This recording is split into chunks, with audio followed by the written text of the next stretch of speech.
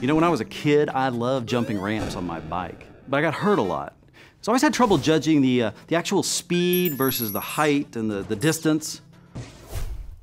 A different kind of mobility has taken off these days because we love and we demand our wireless access. In fact, demand for 802.11ac Wave 2 wireless access points is accelerating because it is so incredibly fast.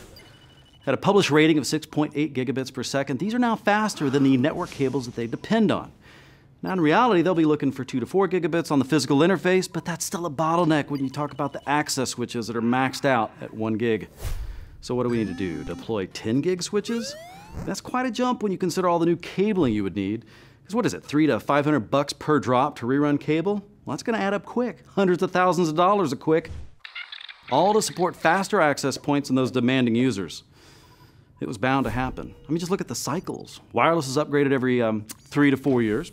Switches tend to stick around another four to six years. Cabling, that's a 15 to 20 year upgrade cycle if it ever gets upgraded.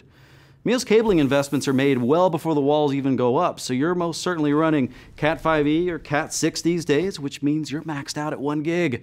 With 1000 base T on 100 meters of structured cabling, this stuff's probably going to be here until the walls are torn down. You know, even if you do work it into the budget, I mean, let's be honest about the business disruption. Some of you guys are in industries that aren't even allowed to open the ceilings again. So, how did this happen? Well, Ethernet advances have always come in at 10 times the performance for three times the initial cost. So 10, 100, 1000 base T, those have all been relatively easy jumps to make. But now we're staring at 10,000 or 10 G base T? well, long jumps need bridges. No, not a network bridge, I was being metaphorical. One is not enough. 10 is too much right now. We need something in between that could still use those existing cables. Well, the NBASE T Alliance has been working on this, building the ecosystem and the consensus that we need for 2.5 and 5 G-base T Ethernet standard. And it makes a lot of sense. It can save us a ton of money, but how's it all done? Well, it's the frequency, Kenneth. We can always increase speed by increasing the frequency, but only to a point. Higher frequencies generate more noise, or EMI, electromagnetic interference. This is why our cabling is both shielded and twisted. Tighter twists and better shielding are required for the higher frequencies that accompany each increase in bandwidth.